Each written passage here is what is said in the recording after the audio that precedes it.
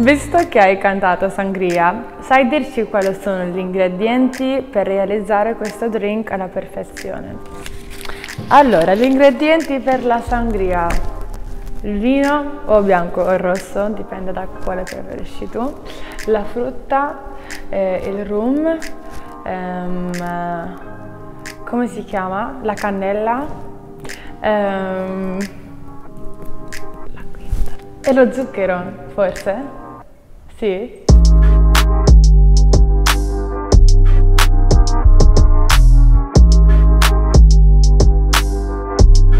Sono prontissima e sono super emozionata, anche un pochino ansiosa perché salirò su un palco enorme davanti a più di 200 milioni di persone eh, che mi guarderanno cantando, eh, cantare I Amo Tayam, che è il mio singolo con cui rappresenterò il mio paese Malta. È molto bello per me ehm, rappresentare Malta, però cantare in Italia, che è la mia seconda casa, e mi sento molto fortunata e onorata.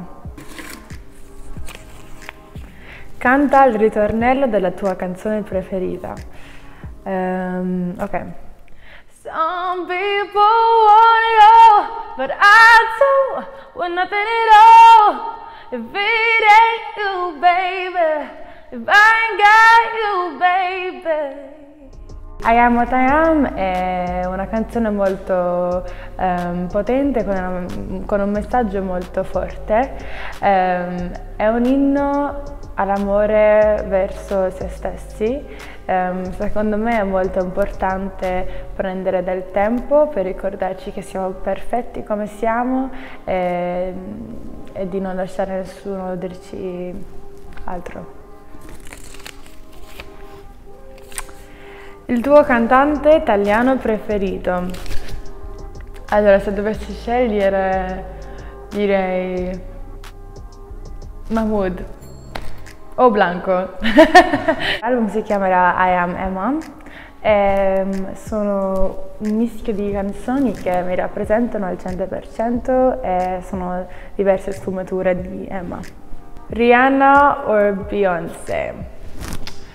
Eh, Rihanna, tutta la vita. Di solito non ho una portafortuna, però a Natale ho cantato al Vaticano davanti al Papa ed è stata un'esperienza incredibile e mi è stato dato un, un um, rosario benedetto dal Papa e quindi sicuramente lo porterò con me.